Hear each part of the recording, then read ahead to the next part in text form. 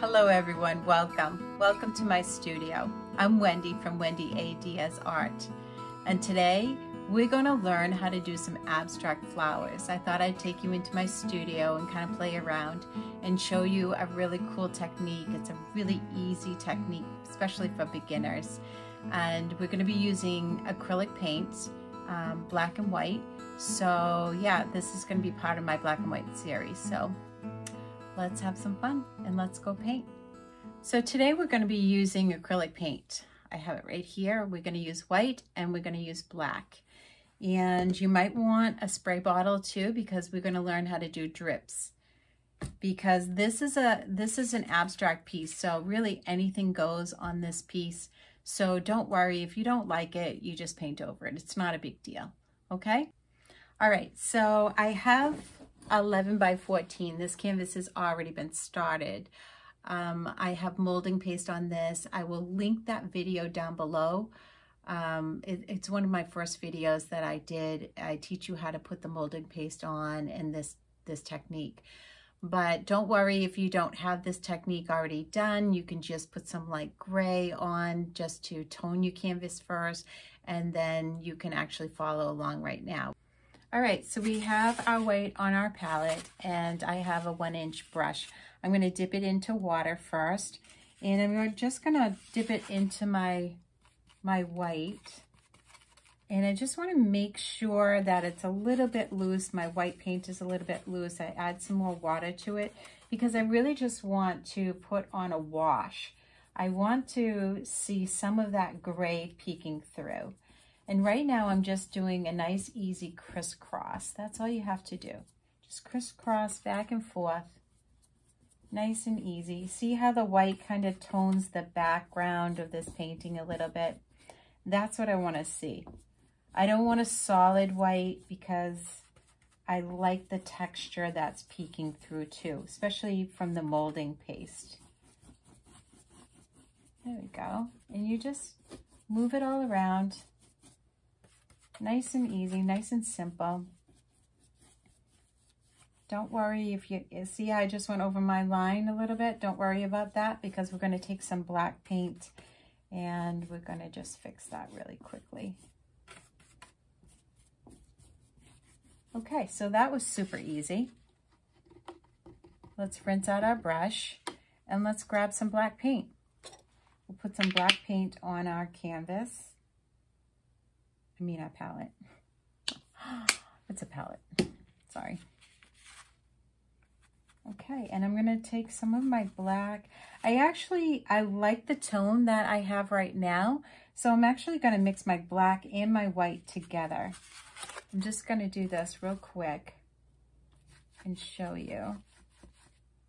Just keep mixing it until you find your desired color that you want. And I'm just going to lightly go over this. I like that you can see some of the texture that's coming through on the canvas. And I'll, I'll show you in just a moment. I'll bring the canvas up close. Actually, I'm going to turn my canvas around so that you can see the top of it so it's a little bit easier for you to see. And we're just going to lightly go over this. The sides, just paint your sides nice and lightly. And I like that. That looks pretty good. Now, I do like the line a little bit, so I'm going to put that back in a little bit. I like to know that I have a little bit of a line. Just slightly. Just, I just want to see that line in the background. There. And I'm going to add a little bit more white to this. There, now you can start to see some of that texture come through with the white on here.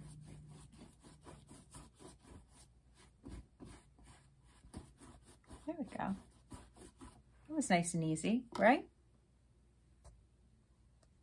So here's what the canvas looks like now. You can see at the bottom, you can see all that nice texture all on the bottom. And now you can see some of that gray peeking through. That's what we're looking for. That looks great. All right, so now we're, we're ready to start. We're ready to start our flowers. And so I'm gonna take a smaller brush, about this size. I don't really know what size this is. I think it's worn off on my brush, so any, any size, any size that you feel comfortable actually doing. I'm dipping it into my water and wiping it off just a little bit. And now I'm gonna, I'm gonna use my black paint. And we're going to decide where we want our flowers. And how many flowers do you want? I thought we would do, I'm gonna move you just a little bit. There we go. I thought we would do, let's start with one. So I'm putting on my paint and I'm just kind of squiggling. Where do I want my flower? This is how I want my flower. Just make little squiggles. There you go. That's one flower. And maybe we'll have another flower up here. I like that. That looks great. There's another one. And let's make another one right here. Yeah, that looks good. And see how I'm just squiggling? I'm just putting the outline of a flower. This is abstract, so don't worry about it. Um, flowers are not perfect in abstract. They're just not.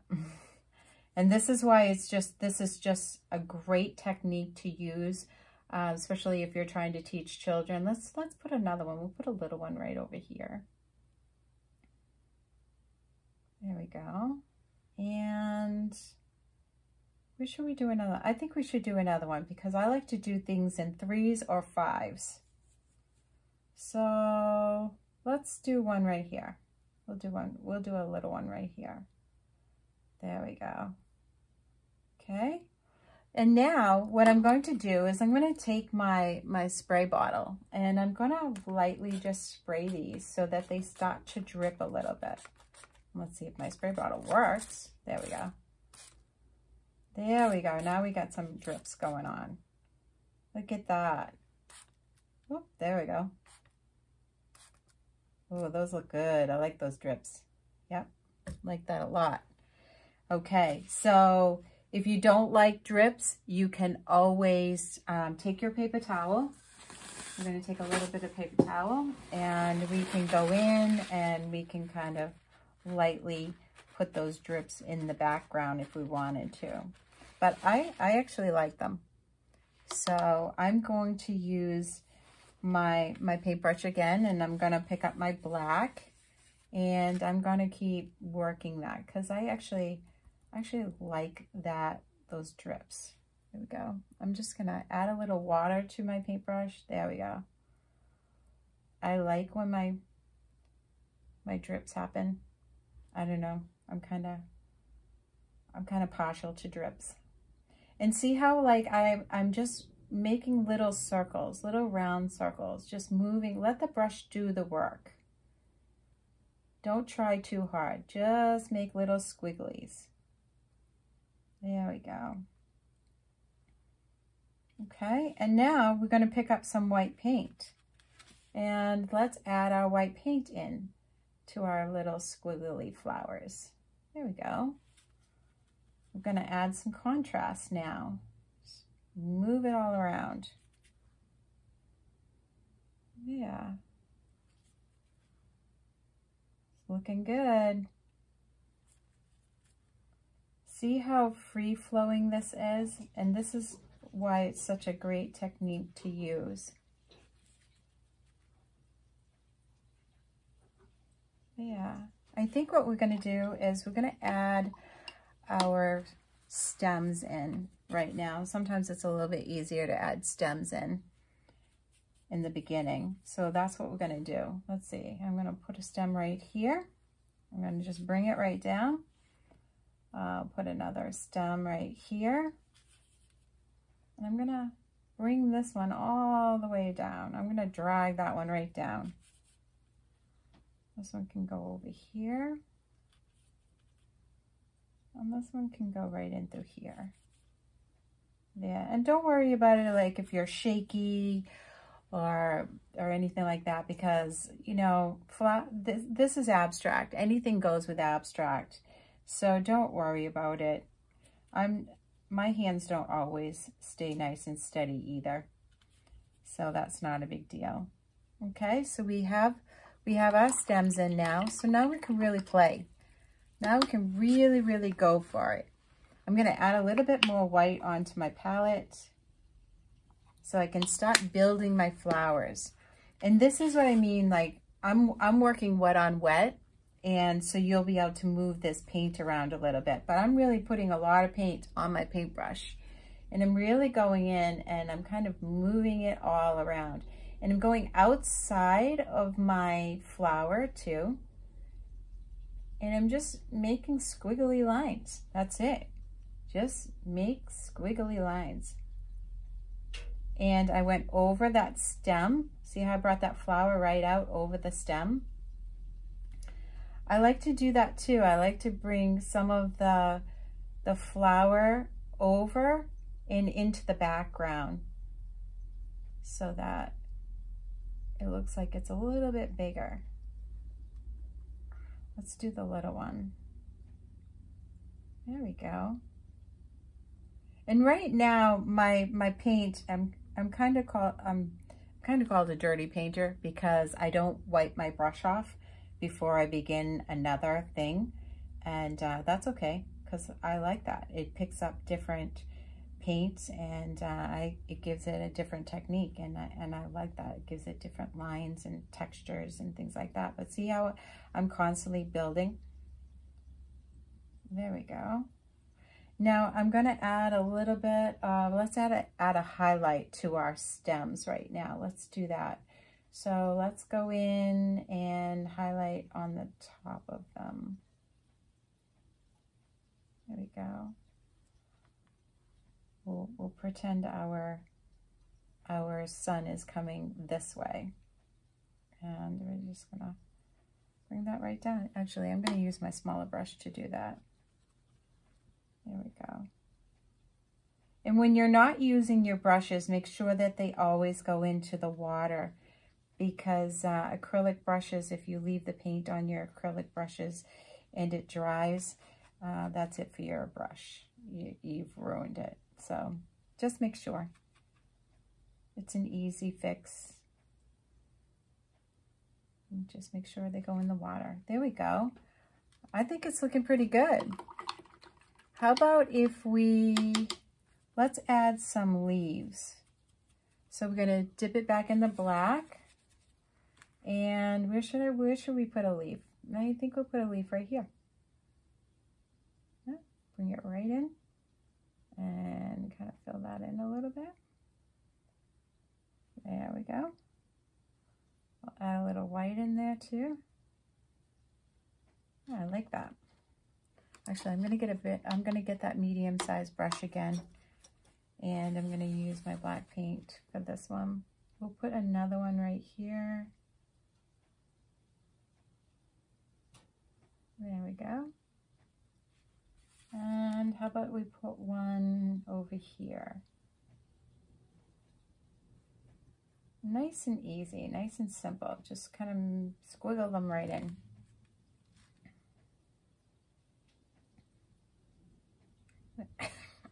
Excuse me. Ooh.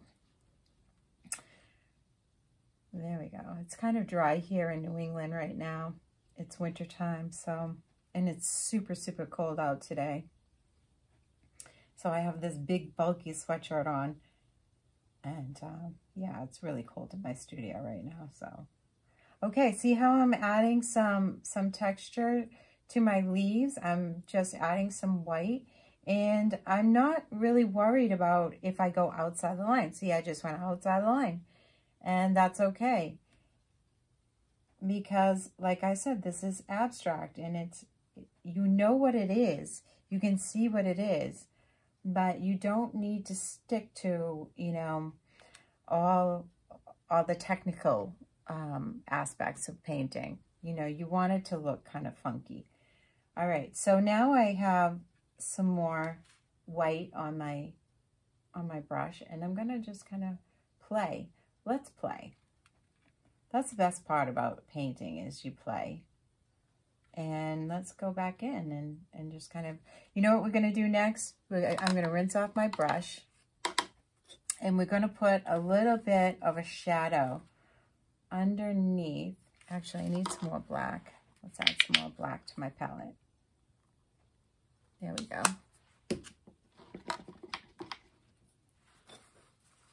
And we're going to add um, a shadow underneath our flowers. There's always shadows underneath. There we go. We'll just add that right along.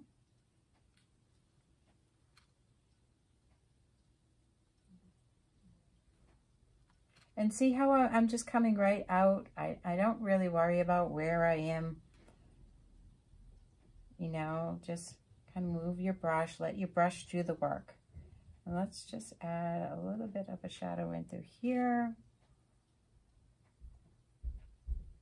I love working wet on wet because your paint kind of moves around. And now I'm going to go in and I'm going to add just a little bit of contrast with my black. So just little dots, just to let you know that this is a flower. These are the petals. There we go. And you know, you know what? I think I'm going to, I think, let's see. Sometimes as I, as I paint, I change my mind a lot. You know, it's just what happens. And so I'm just going to add this right in just like that, just so you know what that is. And now what I'm going to do is I'm going to just keep, I'm going to keep building. That's what I love about abstract is you just keep building. And I have a lot of paint on here. And that's okay because I like the texture of the paint and you'll as you discover your technique and how you want your little squiggly lines and how you want your flowers to overlap see how I just bought brought that petal out over the other flower. So this flower actually came in front of this flower and now this flower is in the back. So we're going to highlight this flower a little bit. There we go. And I just brought it in front of the leaf now. So I'm just going to build this flower just a little bit more. There we go. And now don't be afraid. Like I'm going to take my small brush and now I'm going to really go outside the lines. I'm going to really show that these flowers are, are kind of big, actually. They are. They're getting bigger and bigger, aren't they? but I'm just doing little squiggly lines. Little squiggly circles to add texture. And that's what you do. You just keep doing that. In this, I'm going outside, outside. And this one's going to go outside too. And now, now we're going to add some white. We need some pure white because I've kind of um, used my white with the black and it, it mixed in and made gray. So let's do this. Let's add some highlights now. We're going to add some pure white highlights. Where do we want our highlights? Let's say we want some highlights right here. Actually, I need a bigger brush for that. I need, um, let's take our medium brush back and we're really gonna make highlights. One highlight, one highlight, highlight, and really get in there and make those highlights. And if you, if you feel like the white is mixing in with the black again, then rinse off your brush. But I really just want to go in and make little dashes. That's pretty much what highlights are, is just little dashes. There. And just keep rinsing off your brush. Pick up some more. Um, let's see, we're going to add a little highlight over here. I need some more white. Let's painting's coming. It's coming along. I like it. It's starting to look really good.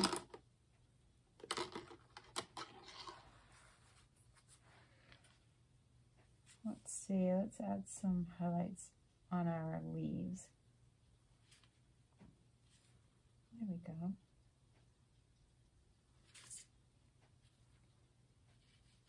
Mm, that's a big highlight. I like that one.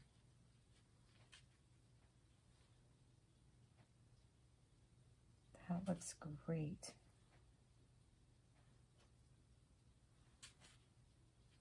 And see, you're just, you just keep building. You build, build, build, on this painting. And like I said, you're working wet on wet. So if you don't like something, you can always just paint right over it.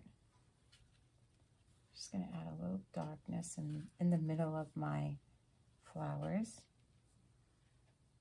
See how I don't, I don't rinse off my brush a lot. I kind of work really dirty, actually. dirty with my paint. Dirty painting. Okay, so now I'm going to take my smaller brush and I'm going to add a little water to this. And I'm going to outline a little bit is what I'm going to do. I'm just going to take that and just outline just slightly. But you have to make sure that your paint is a little bit watery, just like this. And we're going to bring that right outside and bring it in and then out. And see how it, it frames your flowers a little bit? Love that look. And sometimes I'll even make squiggly lines. You see how I just made that squiggly line? Like I'll outline this stem and then I'll come in and make a little squiggly line. I don't know why, I'm just, I just play. And this helps you, this helps you play a little bit. It helps you not have to stay in the lines. Remember when your teacher used to say, stay in the lines, stay in the lines. And um, I was really good at staying in the lines in the beginning. Absolutely. You know, when I was, when I was little. But now I stay out of the lines. And, uh, and I love that. I love that a lot. This is when you can really have some fun. All right, now I want to make some highlights along my stems. So I need some pure white because, well, maybe I do have some pure white. Do I have pure white? I think I might, right on the tip right here. And so I'm just going to make little dashes just to brighten those stems up a little bit. Just want to brighten those up. Like I said, sometimes your hand is kind of wonky and just let it flow because that's what nature is. Nature is not perfect. And that's that's why you can do abstract. I mean, like I said, kids love to do this technique and it's really cool to do it with them. Let's pick up some black here. Just to add some black right underneath here. There we go. There, it's looking pretty good. I think we're doing pretty good. So the last, the last technique, and I love to do this, is I take my palette knife and you can see all around here, um, you know, we're going to add a little bit of white to kind of brighten up our background a little bit. And the way we do that is we just take our palette knife and we put it on the back of our knife and you can see that. I have it on the back of my knife. I have white and I'm just going to take it and I'm going to just scratch it in. I'm just going to run it right over the back. There we go. And I'm, I'm going to do it right through my, I'm to pick up my painting actually. Don't, don't be afraid to pick up your painting especially when you can't reach places. And I'm just to go right in there and just kind of scratch it right in because it's picking up, this white now is picking up the molding paste that I had already put on in the very beginning. Now, like I said before, if you didn't put any molding paste on, don't worry about that because it will actually still pick up and highlight over the back of that, the color that you had already put down. Let's see how it's adding to that painting a little bit. It's putting some depth back into that painting. And I love that. That's gorgeous. Yeah, let's add a little bit more over here and a little bit more over there. So we're looking pretty good actually. And uh, yeah, so that, oh, let's get that out of the way, the water bottle. This is our painting today. So what do you think? That was really fun. Love all that texture in there. See how you keep building your flowers over and over? And don't don't worry because like I said, if you don't like something, you can always paint over it. All right, so I'm gonna I'm gonna tilt you up a little bit so you can see me. Hi everyone. So that was great, right? That was super fun. Kids love to do this technique, um, especially making flowers and you're not getting too technical with them. You're just making squiggly lines. And yeah, that was super fun today. Thank you everyone for coming. I had a great time and I hope you come back. I have lots more to teach and uh, have a wonderful day, okay? I'll see you later. Bye-bye.